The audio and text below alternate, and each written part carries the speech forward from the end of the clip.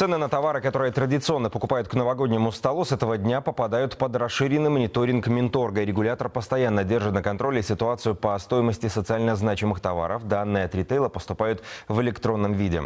Чтобы избежать необоснованных всплесков цен в эти три недели, когда покупательский спрос повышается многократно, а товарооборот увеличивается на треть, решено увеличить и список товаров, а также магазинов будет осуществляться живой мониторинг, мы будем фиксировать определенные цены в объектах торговли и э, еженедельно отслеживать по ним, э, есть рост или нет этого роста, для того, чтобы понимать, как у нас ситуация складывается в принципе в области. Будем разбираться по каждому случаю, информация будет передана в март, будут выявляться, как бы из-за чего произошел рост цены, то есть это рост цены производителя или это где-то э, завышение торговой надбавки происходит, поэтому в каждом каждом случае будет индивидуально.